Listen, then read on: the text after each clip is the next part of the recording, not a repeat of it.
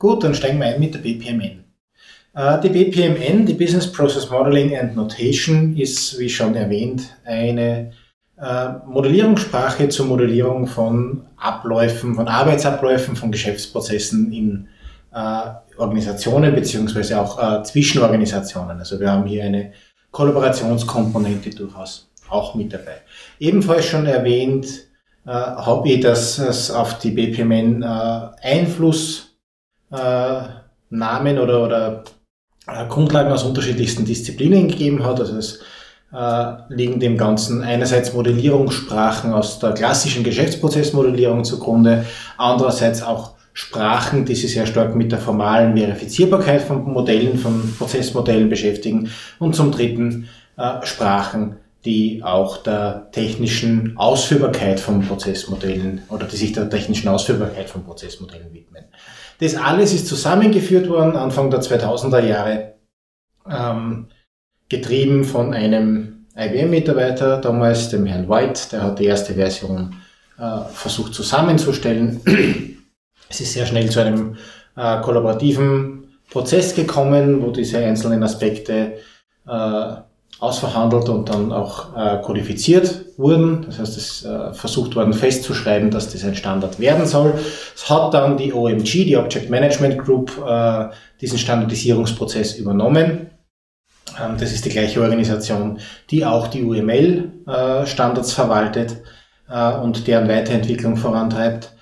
Genauso bei der BPMN, also mal die äh, Version 1, so rund um das Jahr, ist jetzt nicht lüg, äh, 2005, genau, äh, herausgekommen und mit 2010 dann eine überarbeitete Version, die sogenannte BPMN 2.0, äh, die bis heute dann noch aktuell ist, relevant ist, äh, standardisiert worden, die vor allem im Bereich der Kollaborationsmodellierung interessanterweise, der Kommunikationsmodellierung äh, verstärkt wurde. Wir werden uns als alles, was wir uns jetzt anschauen, äh, auf die BPMN 2 fokussieren und äh, gehen jetzt schrittweise vor, schauen uns jetzt zuerst einmal die Grundelemente an, die man braucht, um grundlegende Prozesse zu modellieren.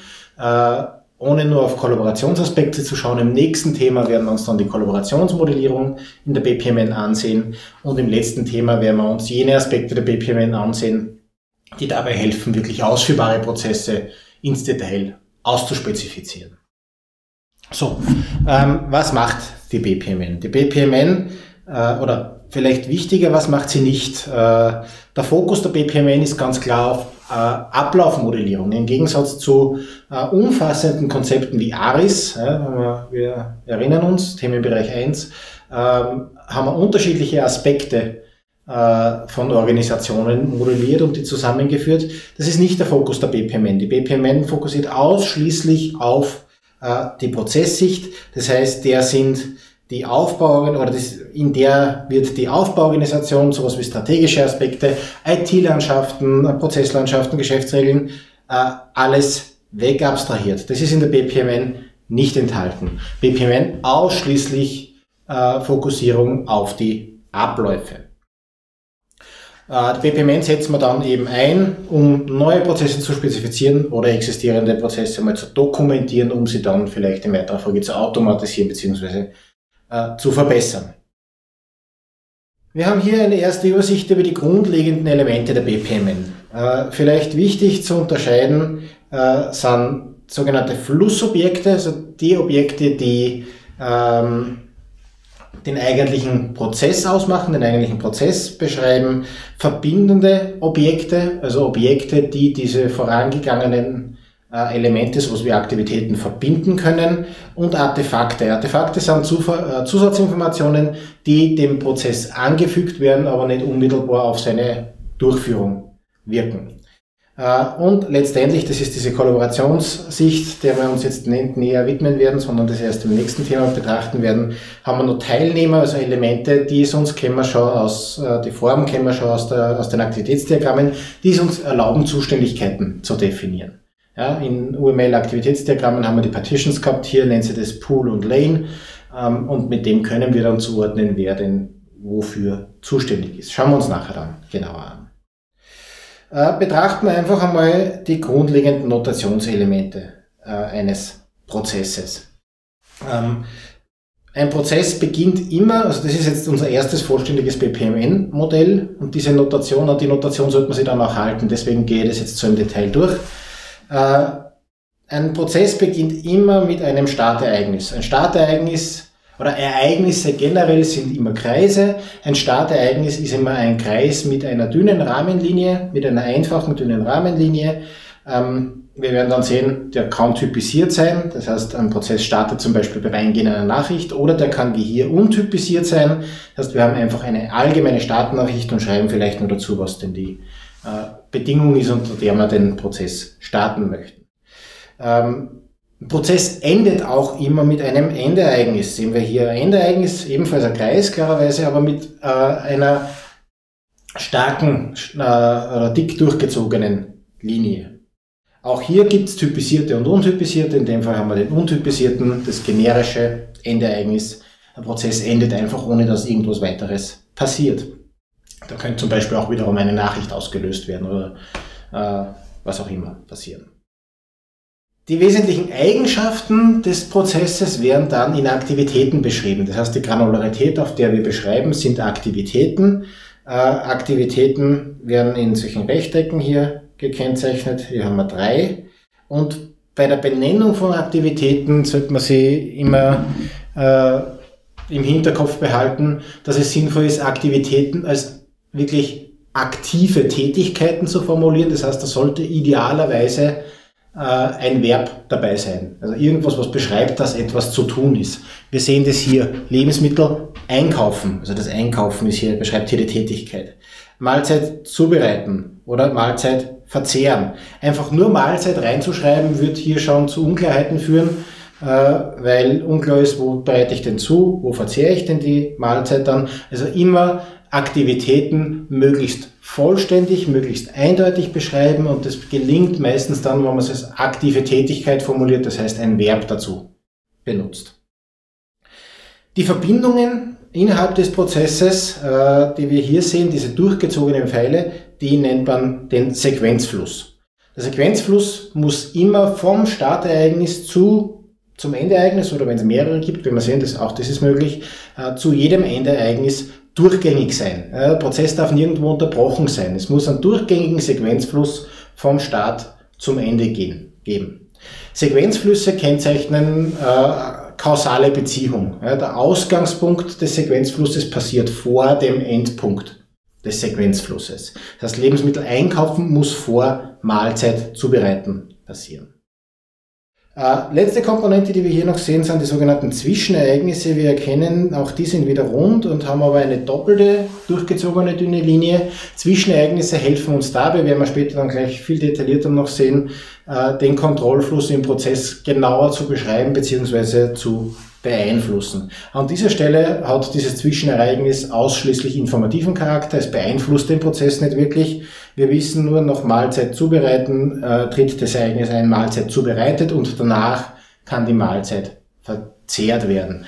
Äh, gesagt, hier beeinflusst den Prozess nicht, man könnte es auch weglassen und der Prozess wird genauso aussehen. Reine Zusatzinformation, wir werden später sehen, man kann Ereignisse aber sehr äh, dazu verwenden, sehr detailliert zu beschreiben, wie der Prozess äh, eben exakt funktioniert. So, äh, jetzt schauen wir uns diese einzelnen Komponenten nochmal näher an. Beginnen wir mit den zentralen Komponenten, den Aktivitäten. Äh, Aktivitäten, habe ich schon erwähnt, äh, benennen wir idealerweise aktiv, immer ein Verb mit dazu. Und Aktivitäten kann man auch, auch das kennen wir schon aus Aktivitätsdiagrammen, detaillieren. eine Aktivität, wo Zusatzinformation vorhanden ist, ist durch so ein kleines Plus gekennzeichnet. Dieses kleine Plus zeigt uns, hier äh, steckt ein weiterer Prozess drinnen. Und wenn man das aufklappen würde, das ist jetzt eine Tool, äh, Geschichte, ob das möglich ist oder nicht. Äh, wenn man das aufklappen würde, dann können wir einen expandierten Subprozess darstellen. Man kann auch in einem Prozessmodell den Subprozess gleich expandiert einzeichnen und das dann äh, zur Kapselung verwenden. Auch das hat potenzieller Mehrwert für die Ereignissteuerung, werden wir äh, aber erst im übernächsten Themenbereich dann sehen. Äh, was wir aber erkennen ist, dass wenn wir einen äh, expandierten Subprozess haben, der immer auch einen vollständigen Prozess enthalten muss. Das heißt, der muss mit einem Startereignis beginnen und mit einem äh, Endereignis wieder enden. Und dazwischen haben wir wieder einzelne Aktivitäten. Ähm, es gibt dann noch, aber auch das werden wir uns erst im übernächsten Themenbereich anschauen, Modifikatoren für diese Ereignis, äh, für diese Aktivitätselemente. Die werden wir üblicherweise aber eher äh, selten verwenden oder nur in Spezialfällen verwenden. Das ist das Grundelement, das wir brauchen, um äh, Prozessinformation zu beschreiben. Das zweite Grundelement, das wir haben, auch das habe ich schon erwähnt, äh, sind die Ereignisse. Ereignisse treten in drei grundlegenden Varianten auf, auch die hat man schon. Start-Events, End-Events und Intermediate-Events. Unterscheiden sich immer, egal wie Sie sonst noch anschauen, in der Form des Rahmens. Das heißt, eine dünne durchgezogene Linie ist ein Start-Event, eine dicke durchgezogene Linie ist ein End-Event und eine doppelte durchgezogene Linie ist ein Zwischen- oder ein Intermediate-Event.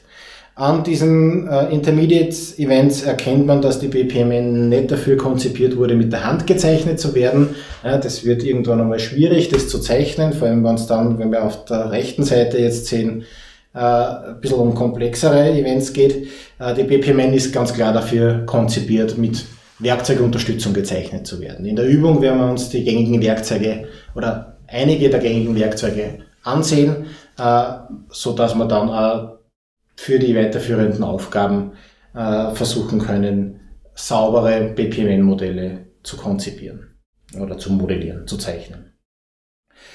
Ähm, zurückkommend, wir hatten äh, bereits gesagt, bei Events gibt es untypisierte und typisierte Events. Die unausgefüllten, das heißt die mit leeren Innenraum äh, gezeichneten Events, sind untypisierte. Da treffen wir keine weitere Aussage darüber, was für eine Art von Event das ist. Für die Prozesssteuerung mag es aber sinnvoll sein, genauer zu spezifizieren, welche Art von Event, Ereignis wir erwarten. Äh, zum Beispiel, was wir hier sehen, ist äh, sind drei unterschiedliche Arten von Events. Äh, hier sehen wir das Start Message Event. Das Start Message Event sagt, unser Prozess startet dann, wenn eine bestimmte Nachricht eintrifft. Eintreffende Nachrichten können wir dann äh, verwenden, um Kommunikationsabläufe zu modellieren. Für die Kollaborationsmodellierung werden wir im nächsten Thema sehen, äh, werden wir uns in erster Linie äh, Message Events bedienen. Genauso kann es sein, dass äh, wir ein Timer Event äh, spezifizieren möchten. Timer-Events sind dazu da, äh, Zeitabläufe zu modellieren. Ein Intermediate Timer Event würde man zum Beispiel äh, verwenden, um eine bestimmte Zeitspanne zu warten, bevor man weitermachen möchte. Gehen wir davon aus, äh, wir modellieren einen Brotbackprozess und nach dem Kneten des Teigs muss der Teig rasten und zwar für eine halbe Stunde. Dann würde man hier zwischen dem Teig Rasten und dem äh, Brot in die Form füllen, ein Intermediate Time Event mit 30 Minuten Ablaufdauer einfügen. Und der Prozess würde uns dann genau an dieser Stelle, wo dieses Event eingefügt ist, für 30 Minuten blockieren und es dann fortsetzen. Ähm, das letzte Beispiel, das wir hier haben, ist ein End Exception Event.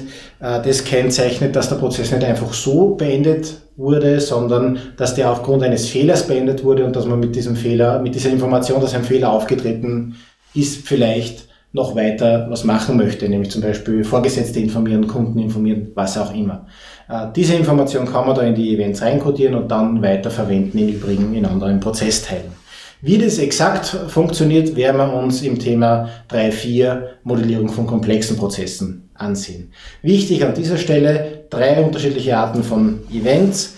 Prozess beginnt immer mit Start-Events, endet immer mit End-Events. Es gibt keinen Prozess, der ohne Start-Event beginnt und äh, keinen Prozess, der ohne End-Event endet. Das ist ganz wichtig. Nicht äh, vergessen. Was wir aus der Software-Modellierung sowohl bei Flowcharts als auch bei Aktivitätsdiagrammen schon kennen, äh, sind die Konnektoren, die es uns erlauben, Entscheidungen zu treffen oder Abläufe zu parallelisieren. In der BPMN heißen die Gateways. Diese Gateways äh, beeinflussen eben die Verzweigungen im Kontrollfluss und die existieren grundsätzlich einmal in äh, vier verschiedenen Varianten. Äh, die klassische Entscheidung, wir gehen es gleich im Detail durch, die klassische Entscheidung ist das XOR Gateway. Äh, also hier entweder oder, exklusives oder, entweder der eine Pfad oder der andere Pfad. Das müssen nicht nur zwei sein, das können auch beliebig viele sein, aber die Bedingungen je nachdem welchen Pfad wir weiterverfolgen müssen, sich gegenseitig ausschließen. Das heißt, wir gehen immer nur genau einen Pfad weiter.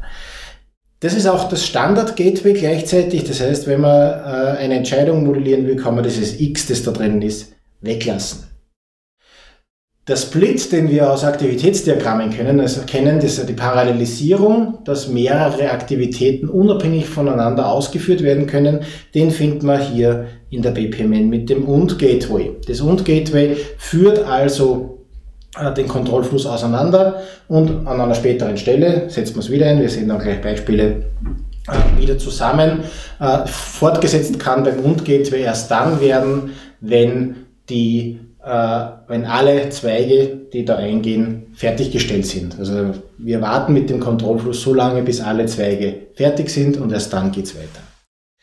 Das Oder Gateway sagt, wir gehen bitte nur einen äh, oder wir gehen bitte einen oder mehrere Zweige der, der, der darauffolgenden Zweige, je nachdem, welche Bedingungen eingetreten sind.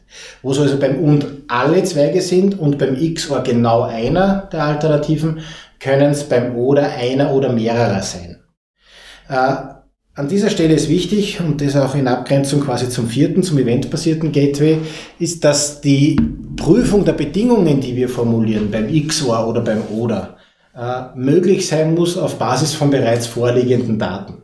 Das heißt, äh, wir müssen in Aktivitäten, die wir davor ausgeführt haben, äh, schon die Grundlage dafür geschaffen haben, die Entscheidung dann an der Stelle, wo das Gateway eingesetzt wird, zu treffen. Wenn das nicht der Fall ist, also wenn ich es vorher nicht weiß, welchen Weg ich gehe, dann ist meine einzige Möglichkeit, das abzubilden, das eventbasierte Gateway. Wir werden es auch hier gleich wieder sehen. Das eventbasierte Gateway, das äh, schaut quasi in die Zukunft. Beim eventbasierten Gateway würde man in jedem ausgehenden Zweig unmittelbar danach ein Ereignis modellieren und je nachdem, welches Ereignis zuerst eintritt, ähm, geht es dann den einen oder den anderen Zweig weiter. Das heißt, da brauchen wir nicht zuvor die Information haben, sondern können das äh, erst im Nachhinein entscheiden, je nach auftretenden Ereignis. zum Beispiel eine Möglichkeit, äh, Timeouts beim Warten auf Nachrichten zu realisieren. Ja, eventbasiertes Gateway, im einen Zweig eine, ein, ein Nachrichtenereignis, im anderen Zweig ein Timer-Ereignis und wenn das Timer-Ereignis zuerst auftritt, dann geht es den, den Timeout-Zweig. Wenn das Nachrichtenereignis eintritt, dann ist die Nachricht ja angekommen und äh, wir machen regulär weiter, zum Beispiel. Schauen wir uns das genauer an. Äh, na, schauen wir uns das noch nicht genauer an, kommt später. Machen wir uns erst die Elemente noch fertig, die wir schon äh, behandelt haben. Der Sequenzfluss, das ist eigentlich ja nur der Pfeil, meint man, aber auch den gibt es in unterschiedlichen Varianten. Äh, wichtig beim Sequenzfluss habe ich vorhin schon erwähnt, es muss immer einen durchgängigen Sequenzfluss, also mindestens einen durchgängigen Pfad von jedem Startereignis zu jedem Endereignis geben. Es darf nicht passieren, dass irgendwo eine Aktivität, ein, äh, ein Zwischenereignis, da passiert das gern, äh, in der Luft hängt, das heißt keinen ausgehenden Sequenzpfad hat. Das einzige Element, äh, mit einer Ausnahme, die wir später besprechen, äh, wo kein Sequenzfluss weitergeht, ist ein Endevent. Wie gesagt, eine Ausnahme, das Link-Event, das man dazu verwenden kann, den Prozess übersichtlicher zu machen, schauen wir uns im Thema 3.4 nochmal genauer an. Aber grundsätzlich geht aus jedem Element der BPMN außer aus End-Events mindestens ein Sequenzfluss wieder raus. Das merken, dann kann wenig schief gehen. Sequenzflüsse gibt's jetzt, das sehen wir hier noch in äh, unterschiedlichen Varianten ähm, mit diesen kleinen Modifikatoren. Das sind sogenannte äh, bedingte Flüsse. Äh, wo wir so eine kleine Raute dabei haben. Das ist ein bedingter Fluss, den wir nur dann nachverfolgen, wenn die Bedingung, die, die dabei steht, äh, eingetreten ist oder wahr ist. Ähm, Wer also Wetterverhältnisse prüfen, wir schaffen die Grundlagen, die Entscheidung zu treffen und dann gibt es zwei bedingte Flüsse, Sonne, Wind, äh, je nachdem, was der beiden eingetreten ist oder hier auch beides. Ja, es kann auch windig sein, wenn die Sonne scheint, äh, gehen wir den jeweiligen Pfad weiter. Wir führen da hinten mit einem äh, inklusiven, also mit einem Oder-Gateway wieder zusammen. Ist klar, vorne hatten wir eigentlich eine Oder-Entscheidung, Sonne oder Wind oder beides, führen wir hinten wieder zusammen und erst dann, wenn beide Zweige äh, oder jeder der Zweige, der ausgelöst hat, hinten eingetroffen ist, dann äh, können wir fortsetzen und hier den Prozess abschließen. Das heißt, erst dann, wenn der Schonenschutz heruntergelassen ist und der Windschutz ausgefahren ist, dann geht's auch wirklich weiter. Das dritte, was wir hier sehen, ist das, äh, das mit dem kleinen Strich, ist der sogenannte Default Flow, der Default Fluss oder der Standardfluss. Der wird nachverfolgt, wenn keine der Verbindungen, äh, keine der Bedingungen eingetreten ist.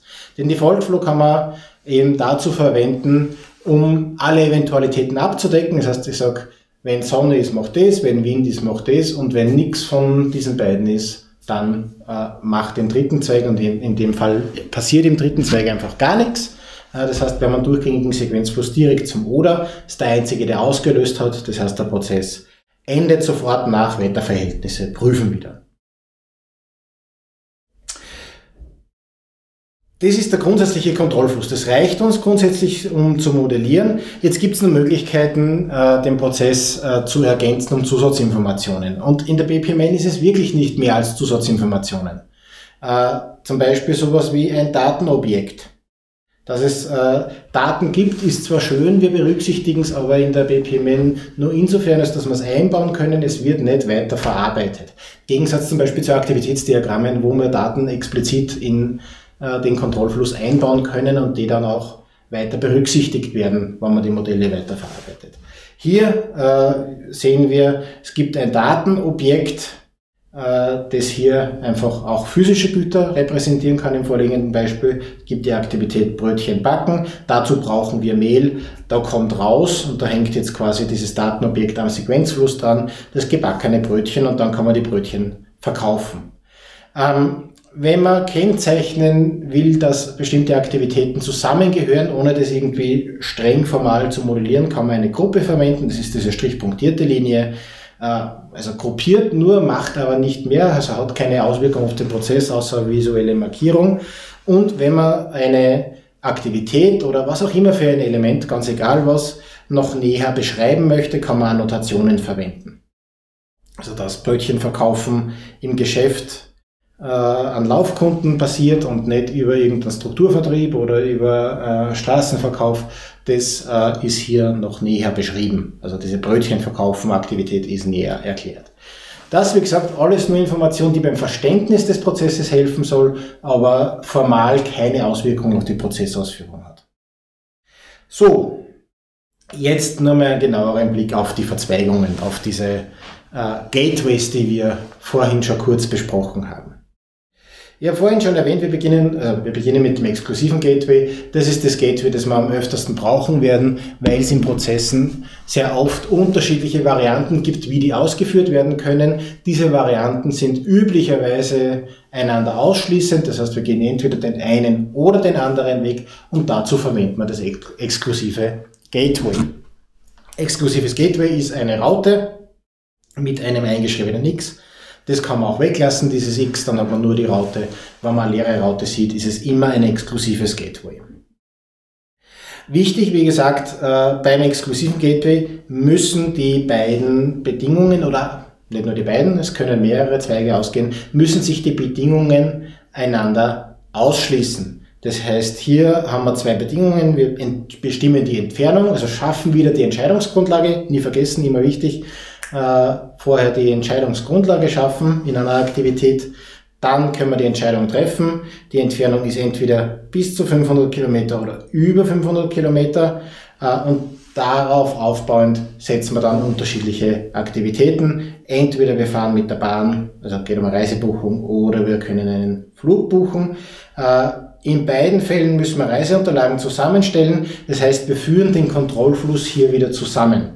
Äh, in der Geschäftsprozessmodellierung, genauso wie in der Softwaremodellierung, versuchen wir, keine Informationen zu duplizieren. Wenn in beiden Zweigen dann die gleiche Aktivität folgt, dann werden wir die Alternative wieder schließen, wieder zusammenführen und das dann nur einmal modellieren. Ja, je mehr Duplikationen drinnen wären, desto schwieriger wird es, den Prozess zu warten bzw. auch zu optimieren.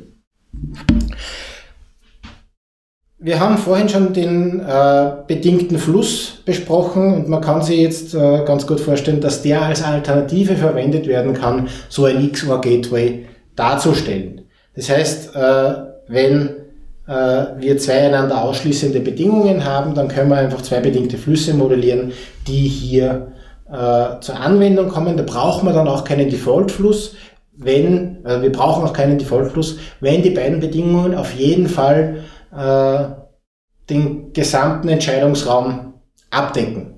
Das heißt, äh, entweder wir haben Entfernung bis zu 500 Kilometer oder über 500 Kilometer. Da gibt's nichts anderes. Es gibt nur die beiden Möglichkeiten, deswegen brauchen wir keinen Default-Fluss. Ähm, auf der anderen Seite kann man, wenn man äh, sich auch wieder Zeich den Zeichenaufwand sparen will oder den Prozess versuchen will, übersichtlicher zu machen, dafür aber nicht so ausdrucksstark, das schließende XOR-Gateway weglassen. Immer dann, wenn zwei Sequenzflüsse direkt in eine Aktivität gehen, ist es ein implizites äh, XOR. Das heißt, hier äh, gehen wir davon aus, dass der Sequenzfluss eigentlich zusammengef äh, wieder zusammengeführt wird, aber immer nur aus einer Richtung kommen kann. Flugbuchung oder Bahnfahrtbuchung, entweder oder, äh, in beiden Fällen folgt darauf Reiseunterlagen zusammenstellen.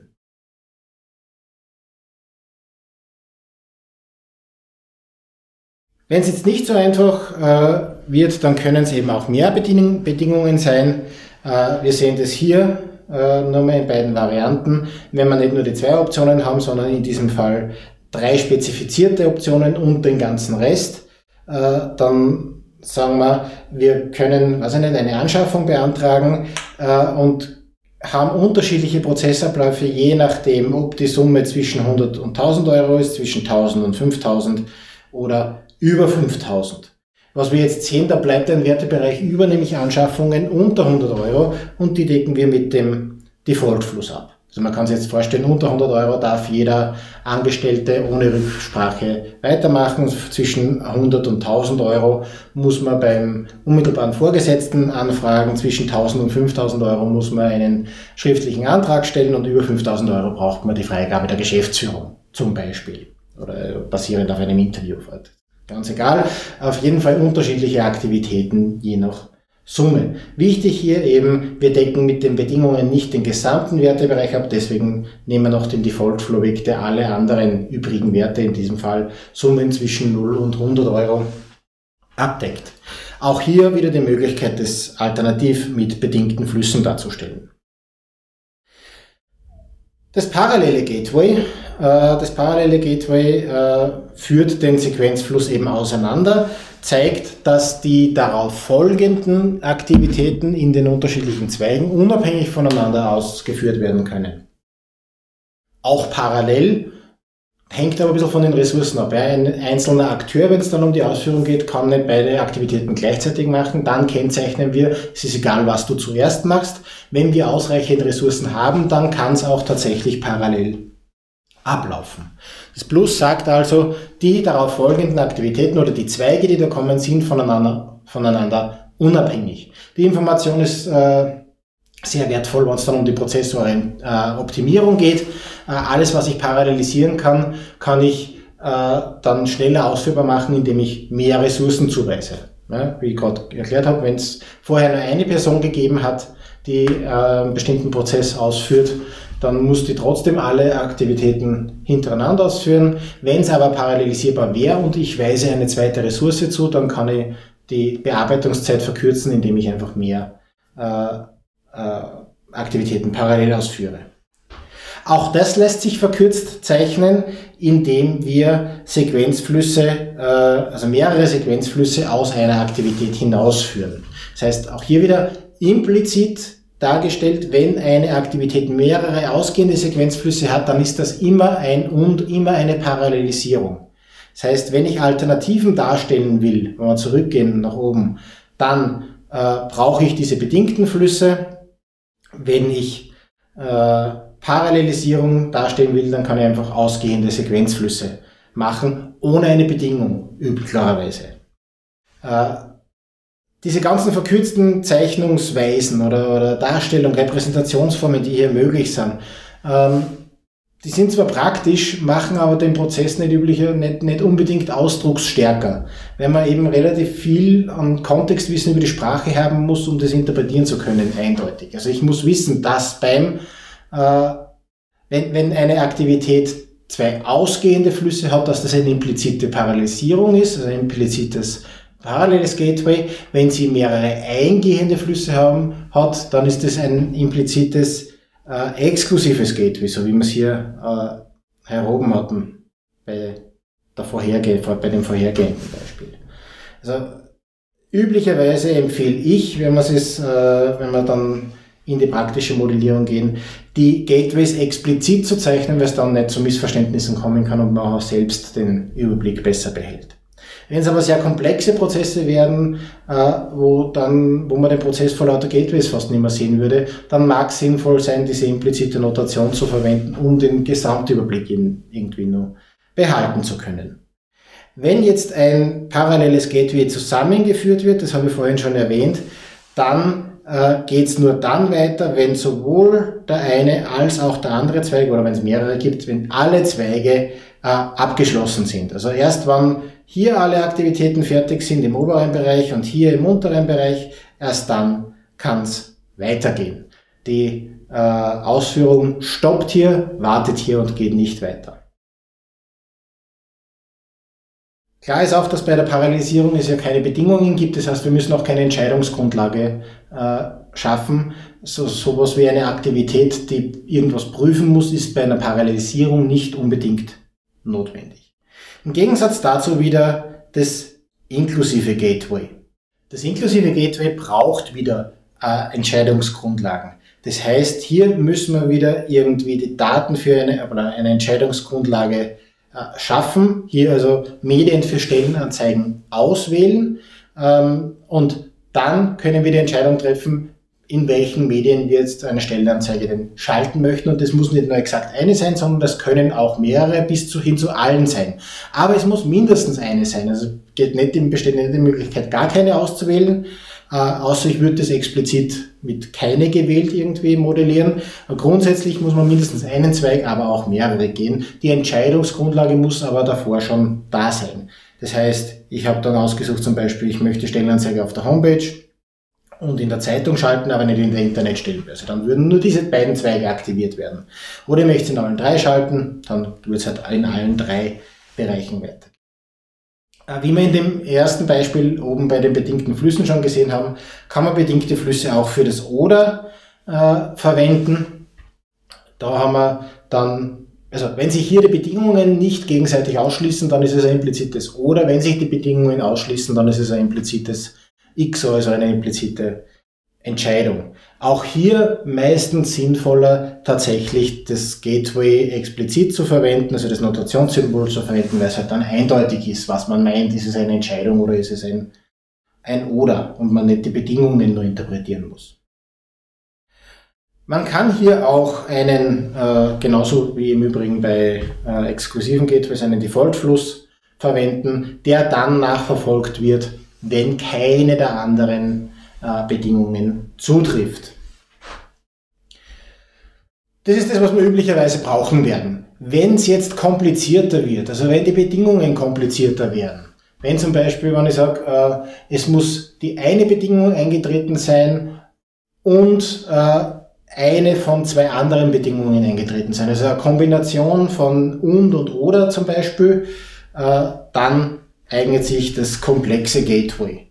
Äh, das komplexe Gateway äh, kann ich einfach mal so hinzeichnen, das ist das mit Stern und muss üblicherweise dann dazu schreiben, was genau die Bedingung ist. Das heißt, hier könnte man sagen, wir äh, parallelisieren, wir fragen alle unsere früheren Arbeitgeber und den Hochschulprofessor um Referenzen, gehen aber dann schon weiter, wenn nur zwei von drei Referenzen eingetroffen sind. Es gibt da noch andere Möglichkeiten, das zu modellieren, wenn wir bei der Kommunikationsmodellierung sehen. Äh, aber hier habe ich die Möglichkeit, komplexere Bedingungen, also Auswahlbedingungen oder kombinierte Bedingungen, sowohl in der Verzweigung als auch in der Zusammenführung zu spezifizieren. Werden wir in der Praxis ja, üblicherweise relativ selten sehen, aber es besteht eben die Möglichkeit, wenn man mit solchen komplexen Bedingungen zu tun hat, dann könnte man das komplexe Gateway verwenden. So, hier nur einmal diese äh, Geschichten mit den äh, äh, mit der Verwendung der Gateways, dass die Entscheidungsgrundlage zuvor getroffen sein muss. Das heißt, ich schreibe nicht zum Gateway, dass ich einen Antrag prüfen muss und dann sage angenommen oder abgelehnt. Ich muss davor eine Aktivität setzen, Antrag prüfen. Der Gateway selbst kodiert keine Aktivität. Ich muss den Antrag prüfen und danach kann ich dann basierend auf dem Ergebnis dieser vorgelagerten Aktivität die Entscheidung treffen, ob äh, der Antrag angenommen oder abgelehnt ist. Eine Zeichenrichtlinie noch. Es ist grundsätzlich nicht verboten, wenn man äh, Gateways dazu verwendet, unmittelbar den Sequenzfluss aus unterschiedlichen Richtungen zusammenzuführen und dann gleich wieder zu verzweigen. Manchmal ist das notwendig, ja, wenn es drei unterschiedliche Varianten gibt, etwas zu tun, die laufen dann wieder zusammen und dann geht es mit zwei möglichen Varianten weiter, äh, so wie in diesem Beispiel. Dann kann man das machen, der Übersichtlichkeit halber ist es aber schöner, äh, wenn man in, äh, wenn man schließende und öffnende Gateways immer separat hinzeichnet. Das heißt, das ist das schließende Gateway, das die drei zusammenführt und das ist das öffnende Gateway, das die zwei wieder auseinanderführt, die zwei ausgehenden Sequenzflüsse.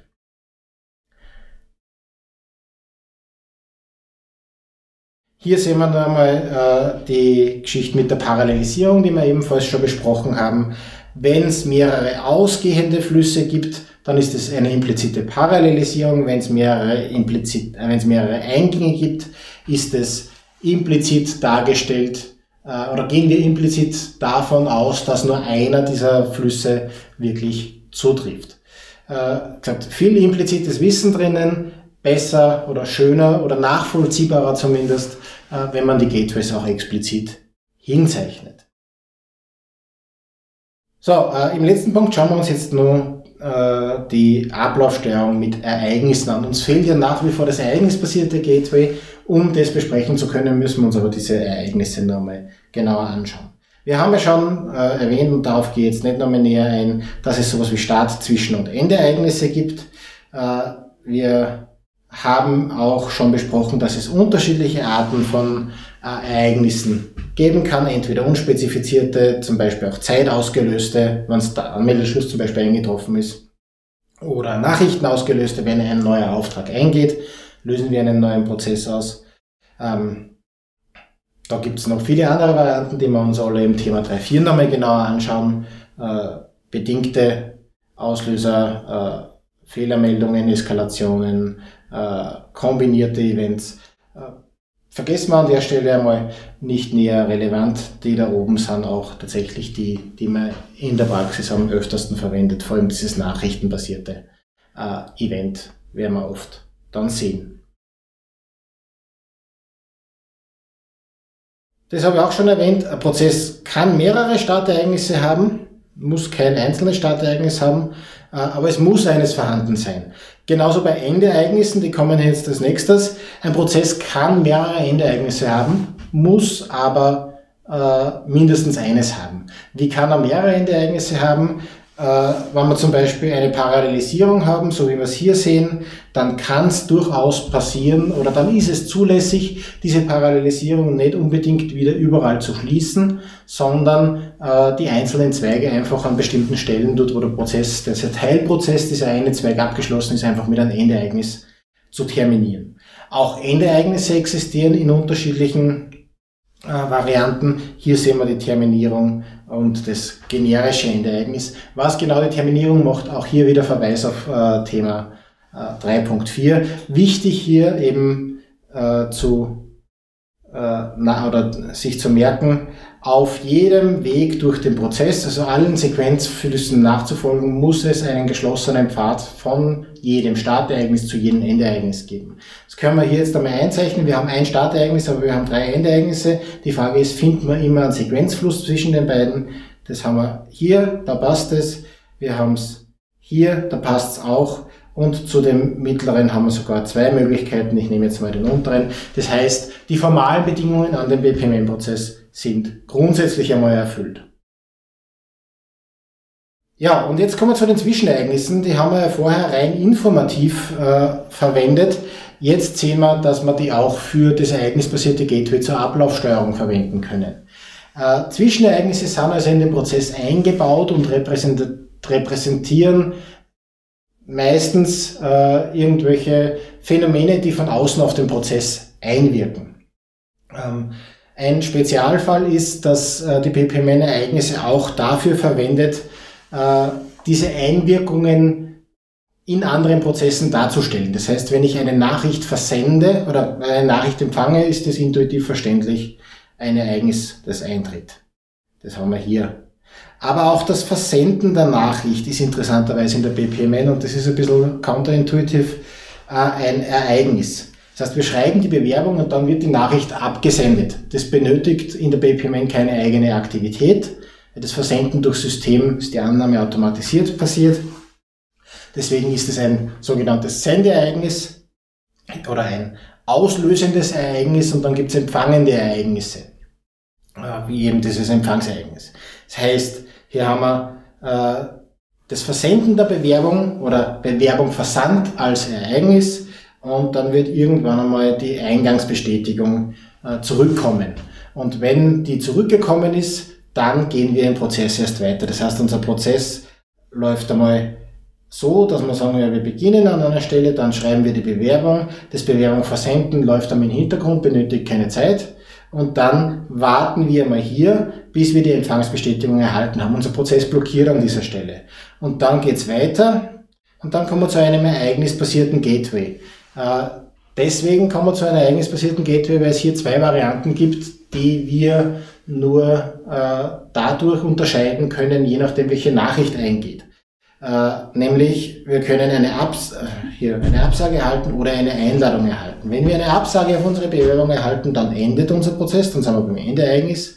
Wenn wir eine Einladung erhalten, dann geht es weiter mit äh, Interviewtermin bestätigen, die Terminvereinbarung versenden und dann haben wir hier noch ein Timer-Zwischenereignis, das so lange den Prozess blockiert, bis der Interviewtermin gekommen ist und dann nehmen wir am Interview teil. Und dann endet der Prozess wieder.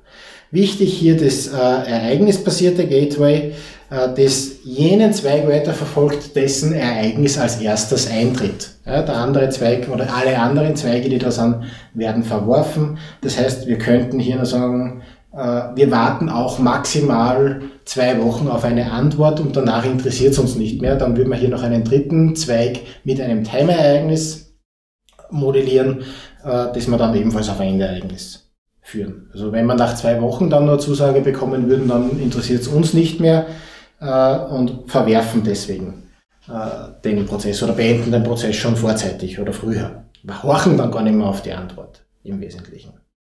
Wichtig sich hier zu merken, einerseits dieses, dieser Mechanismus des äh, ereignisbasierten Gateways und auch, äh, dass äh, wenn man Zwischenereignisse, empfangende Zwischenereignisse so wie das Timer-Event, so wie hier die, den Empfang der Nachricht in einen Sequenzfluss einbaut, dass der Prozess dann an dieser Stelle blockiert, bis das Ereignis auch tatsächlich eingetreten ist. So kann man den Kontrollfluss ganz gut beeinflussen. So, üblicherweise fasse ich ja zusammen, was man sich äh, in einem Thema merken muss. Hier war eigentlich alles wichtig. Hier ist alles zu merken, weil das die Grundlage für die Modellierung bildet. Äh, wir werden sehen, dass wir jetzt sämtliche Elemente, die wir hier jetzt eingeführt haben, sowohl bei der Kollaborationsmodellierung als auch bei der Modellierung komplexer Abläufe alle wieder benötigen werden. So, das war's mit den Grundlagen und jetzt geht's weiter zur Kollaborationsmodellierung.